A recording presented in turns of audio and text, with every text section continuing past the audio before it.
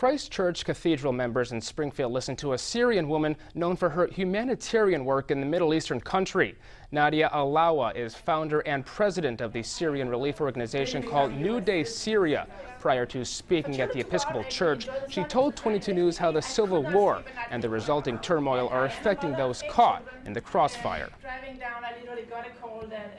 We are watching children suffering, getting killed not being able to go to school, um, mothers watching their children, you know, going through all this suffering. Alawa now lives in New Hampshire where she holds programs helping the Syrian people with humanitarian and medical supplies.